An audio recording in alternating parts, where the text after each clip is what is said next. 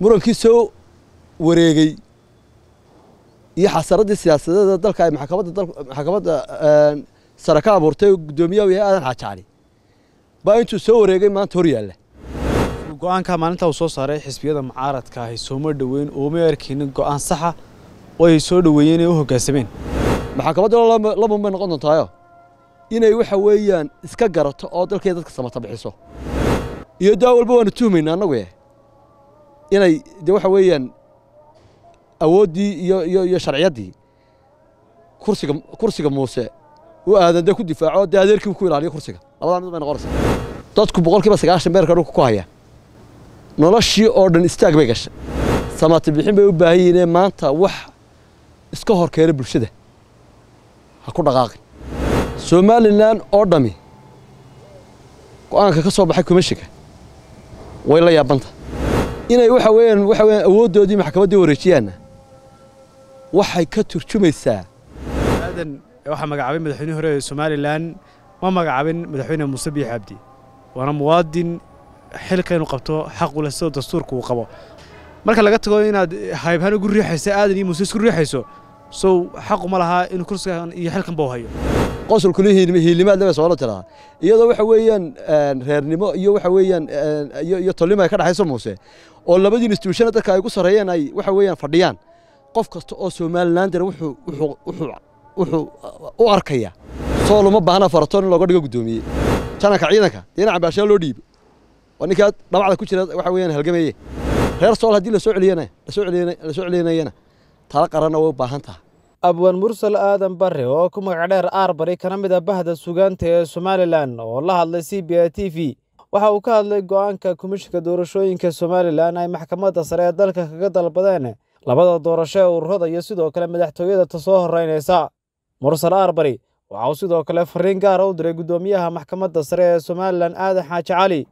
Sidoo kale abwan aarbari oo hadalkiisa sii wata waxa uu ka hadlay loolanka loogu jiro shirguddoonka golaha wakiilada intaanan komishinka u gelin waxaan doonayaa inaan saddex qodob taataabto.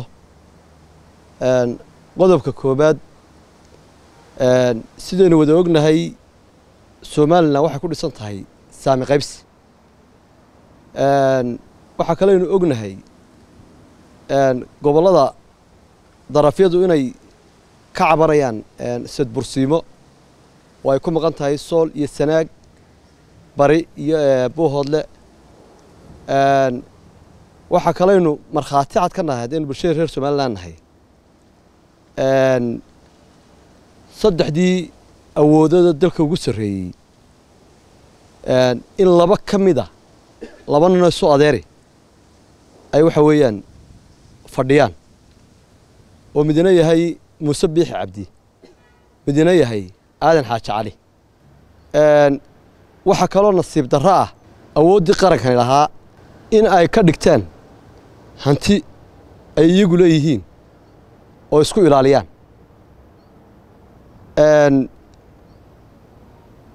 Waxaan u arkaa runtii awoodda qaran ee somalilan oo dhammi leedahay ee waxa weeyaan aadanna uu ku ilaalinayo madaxweynaha. Madaxweynena uu kursiga ugu fadhiyo aadan sidee markaa waan siduu ugu ilaalinayaa? Ilaalin maxaad uga jeedaa? Waxaan uga jeedaa dalkan waxuu ku jiray muddaxileed buu ku jiray sharciga madaxweyne saddex iyo tobankii noofembar ba waxa weeyaan ay ku ekayd muddaxileedkiisii xisbiyada mucaaradka oo liisankoodu jiro madaxweynahoo wakhtigiisii fadhiya oo waxa weeye wakhtigiisii sharci fadhiya. Xisbiyada mucaaradka oo wakhtiyadooda sharci fadhiya ayaa waxaa somalilan o bay ka dheregsan tahay inay maxkamaddu soo saartay qaraar. Ay ku u gudbinayso in ururo toosa doorasho toosa ururadaa la galo. Iyadoo aan wax sharciya shuruucda waxay ka soo fulaan baarlamaanka ka soo fulaan iyadoo wax sharciya u hayn murankii ka bilaabmay dalka maalintaa wa kaa wareegaya qalalaasiisii taagan yahay murankii soo wareegey iyo xasaradii siyaasadeeda dalka ay maxkamadda sare ka abuurtay oo guddoomiyaha u yahay aadan xaajacali baa intuu soo wareegay maanta hor yaalla. Go'aanka maalinta uu soo saaray xisbiyada mucaaradka ahi sooma dhoweyn ooma arkaynin go'aan saxa oo ay soo dhoweeyeen ee u hoggaansameen Een, go'aankuu soo saaray guddoomiyuhu waxaa ka horreeya horta wax sharciga waafaqsan ma yahay mise maaha shuruucda dalka. Waxa waxa weeyaan soo saara baarlamaan baynu leenahay. Maxkamadduna waxaa ka garnaqdaa wixii dacwada.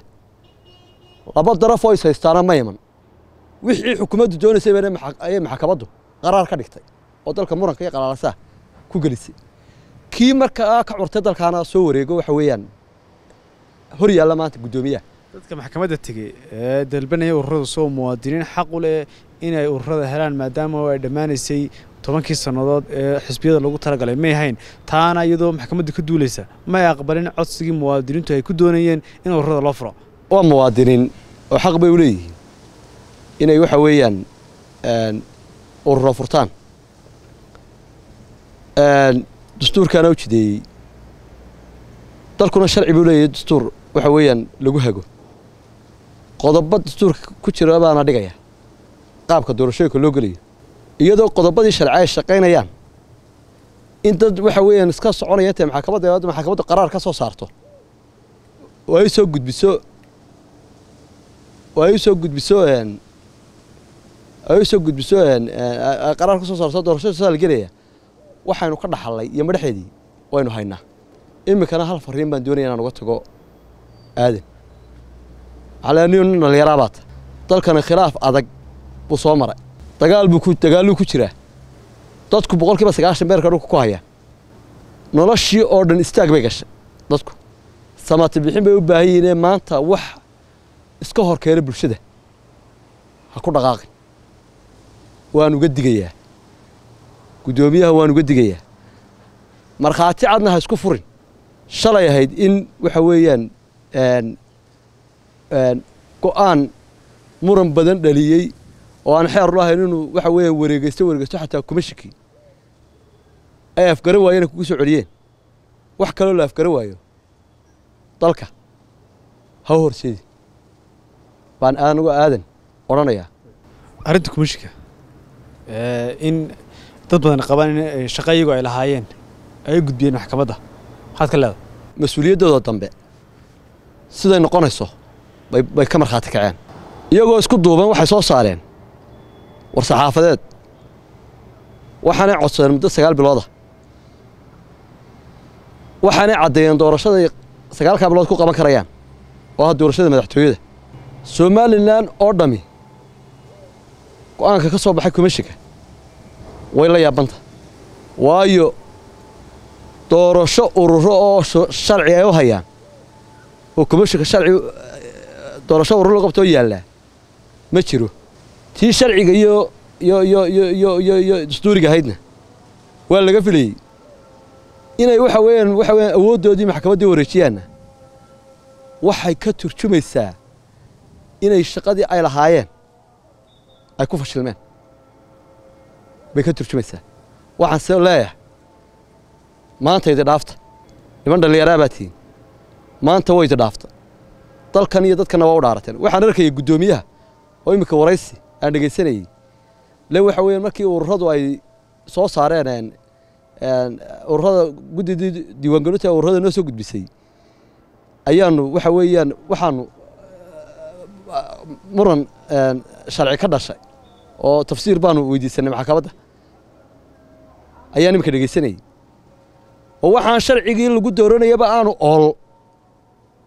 Baa maxkamad tafsiir la weydiiyaa bal guddoomiyaha su-aashaa weydiinaya waxaan sharcigii lagu dooranayaba ool ururaan sharcigii lagu dooranayaba aanu aanay hayn tafsiirku uga baahnaa maxkamaddu u gudbiyey guddoomiya isagaa shacbiga la wadaagi doona u sheegi doonaa laakiin waxaan u aragnaa awood ay lahaayeen oo waxa weeyaan qaynuuniya inay u soo gudbiyeen maxkamadda maxkamadda laban bay noqon doontaayo inay waxa weeyaan iska garato oo dalkay dadka samata bixiso iyo daa walba waanu tuhmaynaa annagu eh inay de waxa weeyaan awooddii iyo iyo sharciyaddii kursiga kursiga muuse uu aadan dee ku difaaco dee adeerkii ku ilaaliyo kursiga. Labadaa mid bay noqonaysaa. Yaa tuhmaya markaa ma adigoo shaksiba tuhmaya mise adigoo cid kale u hadlaya?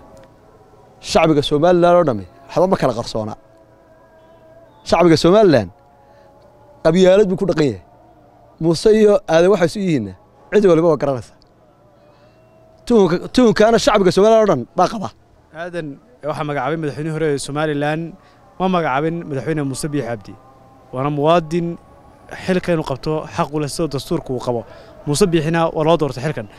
Marka laga tago inaad haybhaan ugu riixayso aadan iyo muuse isku riixayso sow xaqu ma lahaa inuu kursigan iyo xilkan u hayo.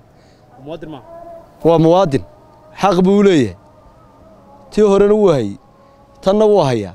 Laakiin nasiibka ayaa isu soo geliyey. Waxa weye arrinku wuxuu taagan rugaan doonayey roob maygu hela iyadoo qosolkuli hiilimaad leba soolo tiradaa iyadoo waxa weeyaan reernimo iyo waxa weeyaan iyo tolnimo ay ka dhexayso muuse. Oo labadii instituushana dadka ay ugu sarreeyeen ay waxa weeyaan fadhiyaan. Qof kasta oo somalilan dara wuxuu u arkaya. Ama wax kala garanaya caqliga wuxuu u arkaya haddii waxa weeyaan uu meel adag iska taagi waayo oo waxa weeyaan dhexdhexaadnimo aadan inuu muuse u heliyo buu u arkaya. Inay isku heb yihiinna cid waliba waa garanaysa. Taasi maaha wax ah, muranle maaha. Annaguna waa garanayna. Waananu qaadanayna haddaanu shacbiga nahay waanu qaadanayna ugu dambeyn mursal muddooyinkii u dambeeyey waxaa hadaleyntiisu isagana taagan tahay arrinta shirguddoonka golaha wakiilada oo guddoomiyihii golahaasi iska casiray dhowaan bal yaad u maranaysaa inay ku habboon tahay eh, shaqadaasi guddoomiyenimada oo sanogna ku tartamayaan musharaxiin kala duwan golaha ka tirsanay wallaahi een, arrintaasi waa arrin taagan. Een, waxaan arkay xukuumadda kulmiye oo aad u hadal haysa oo waxa weeyaan aad u xayeysiinaysa ee, oday aan aad u ixtiraamaya faratoon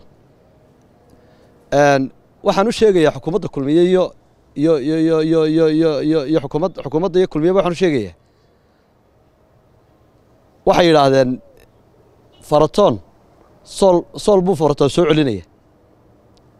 Xukuumadda kulmiye kulmiye iyo xukuumaddiisaba waxaan u sheegayaa sool uma baahna faratoon in looga dhigo guddoomiye gobol dhan baynaan hayn. Shalay shirguddoonka fadhiyeen. Kii fadhiyey baa tegey deegaankoodii baa tegey. Wixii siyaasadda kuma jiray o dhan baa tegey. Go'aan shacbi iyo waxa weeyaan in lala dagaalamo oo la laayey bay qaateen. Tala inta ka ballaadhan bay u baahan tahay oo waxa weeyaan ay tahay in lagu soo celiyo soole. Ninaan kulaba joogin oo kaa tego oo xabadida ka dhexayso nin hargeysa joogo oo ay waxa weeyaan iyagu u yaqaanaan horgale. Oo aanay waxba ka dhegaysanayn baa sool soo celinaya waxaan malaynayaa inay caqliga shacbiga iyo ummaddaba cay ku tahay. Faratoon oo intaas o dhan soo jooga intaasoo sannadood soo samreeyey somalilan maantana ka mid ah xildhibaanada golaha wakiilada. Miyaanay kula muuqanin inuu noqon karo seeska iyo buddhigaha sool iyo somalilan u kala dab qaadi kara sidii bal xaajida loo soo dabaali lahaa? Walaal laba in la kala saraaba wacan. Faratoon waa oday muxtarima waxa weeyaan somalilan ah. In badanna ka soo shaqeeyey. Qarankana la joo- jooga in lagu maamuuso oo waxa weeyaan haddii xil la siinayo xila la siiyana ay ku habboon tahay. Laakiin labayna isku khaldabaan maaha. Faratoon waxa weeyaan sool buu soo celinayaa haddii sool sool buu ku soo celinaya guddoomiyaha baarlamaanka caqliga bulshada cay bay ku tahay. Waxay ugu tahay sool shalay haysa guddoomiyaha. Kii hayay baa iskaga tegey. Haddaanu daacad ka hayn ka waran shacbiga eh, sool iyo bulshada sool ku dhaqani. Waxa dagaal baa iyo somaliland dagaal baa u dhexeeya. Kumanaan baa dhintay. Dareen shacbi baa meesha yaalla. Ka hayey iyo kuwa maqaniba somaliland bay ka maqan yihiin si wada jira in loo soo celiyo waa daacad iyo maaha maaha meesha ma taallo. Shacbiga somaliland ka maqan ee kuwa xabadda soo ridaya iyo kii guddoomiyaha fadhiya tegey in la soo celiyo oo waxa weeye somaliland lagu soo celiyo ila waa shacbigii somaliland oo waxa weeye waxtoodaye baa somaliland u taalla qaabka lagu soo celinayana faratoon hadduu guddoomiyaha fuulayo soo noqon maayaan maaha tala qaran bay u baahan tahay in xabadda laga daayana way u baahan tahay waxaanan qabaa tabashadu way badan tahay tabashadu ciidday ka badan tahay reer awdalba waxbay tabanayaan kursigaa toban xil oo kanakaanoo ka waaweyn baynu haddana wax bixinayno isku haysanaa janaka ciidankaba dee ina cabaashaa loo dhiibo janaka ciidanka dee ina cabaashaa loo dhiibo oo ninkaa dhabacda ku jira waxa weeyaan halgamaye hadday tabashadu badan tahay gobolkaa awdale ee dadkiisii iyo shacbigiisiiba imika waxa weeye degan yahay ee tabashadu ka jirto in guddoomiyaha baarlamaanka la siiyo. Xildhibaanaduna ay ku ixtiraamaan baan anigu qabaa oo taageersana tabashada reer awal qabaan aanay sheegin adigu ku muuqata maxay tahay? Waxba isma qariyaan ibraahimow maalin walba waxa weeye miidhiya dad baa taagan. Waxbay tabanayaan. Xilalkuna ma qarsoona. Wax qarsoon ma aha. Beesha dhexe inay bursatana way caddahay haddii somalilan laysku haynayo la doonaya in waxa weeyaan wax laysa siiyana. Milgaha iyo gobonimada waxa waa soora waxay ku wanaagsan tahay. Inuu cuniyey cantuug madaxweyne ku-xigeen waa wax taytala ay hayaan reer awda taytal labaadoo muhiima waa gobol dhan waa bulsho dhan oo shacbiga somalilan ka mid ah in la siiyaa. Calayaal wax ku jaban ma jirto. Reer sool haddii la soo celiyana la soo celiyana la soo celinayana tala qaranna way u baahan tahay. In waxa weeyaan waxaynu inagu isku koobnay reer sheekh isxaaq isku koobaya ee weliba isagu sii kala sadbursaday dhulka la dhigo oo la qaybiyona way ku habboontaa laakiin mar haddii waxa weyan waxa maanta yaalla u yahay kursigaa guddoomiyaha waxa weeyaan reer sool ka tageen. Waar kuwa ogol maanta somaliland waxa weeyaan tabanaya wax. In in la siiyo baa gobonimada ku jirtaa. Reer soolla madaxweynehaba de ha la siiyo.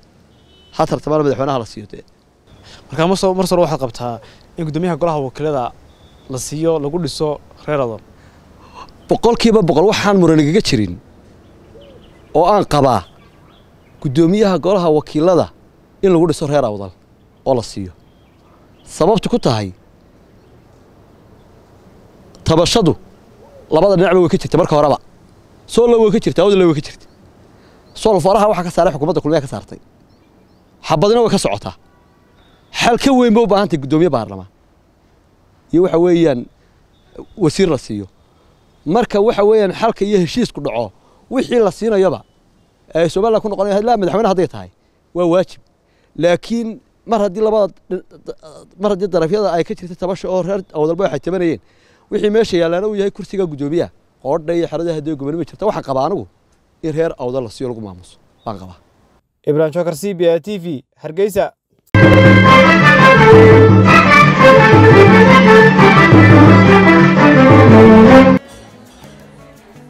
Wow. اسبوعك في عايز صاحبي waad ka heshay sooma ما شاء الله صح ما عاد وش بصي waxaan ku shubtay xidhmo furan toban doolar baad ku shuban kartaa shan baad ku shuban kartaa shan iyo toban baad ku shuban kartaa labaatan baad ku shuban kartaa